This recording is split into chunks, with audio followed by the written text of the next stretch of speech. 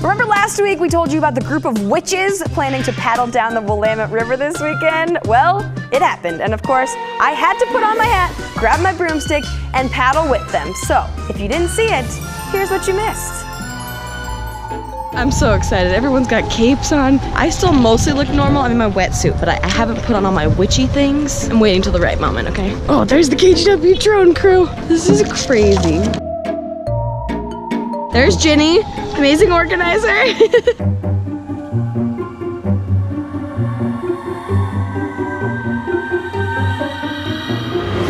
okay, we're getting in the water, which actually like feels refreshing. It's weird. It's basically Halloween. Oh, there's a warlock? There has to be a couple hundred people out here. I mean, witches. Witches out here. All right, witches! Woohoo! Here goes the coven. Witches, are you ready? We're ready. Let's go find some children for lunch. There's a little black crow. That's so cute. She's got a cauldron. oh, got a mermaid witch. There's like three people on that witch witch boat, witch broom. my cackling is still not good. I can woo though. The Portland Fire. Oh my gosh. Got a whole audience of spectators over there.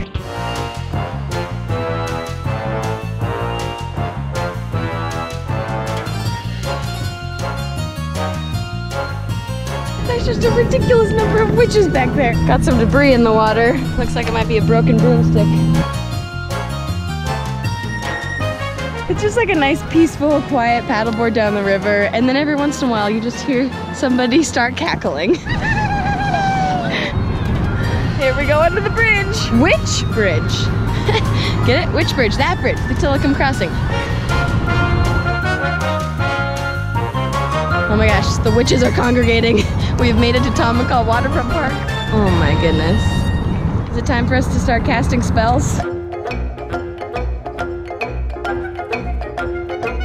Now we paddle back to Willamette Park. I mean, we fly, we fly, we fly.